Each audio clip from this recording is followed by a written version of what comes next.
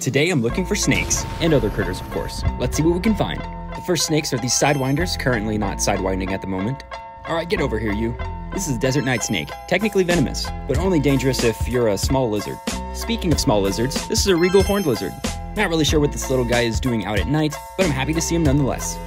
This is a long-nosed snake. They typically have a lot more red on them, but this one clearly does not. Hi there, you're kinda cute, in a terrifying way.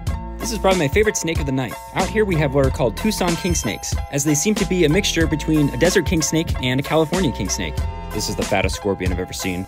Lastly, it's not a snake, but it's a red spotted toad, sporting just an adorable little leaf crown.